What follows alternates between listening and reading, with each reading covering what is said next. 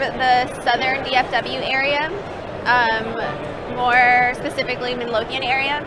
I serve heavy duty shops, so I have anywhere from 18 wheelers to CAT. Uh, I also have a lot of little small independent shops, automotive.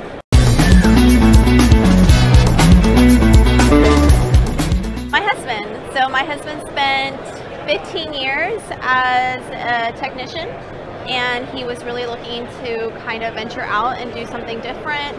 Um, we sat down and looked at our options and along came you know, tool trucks. And so that's whenever we started kind of going into it. And two years ago is when we finally started.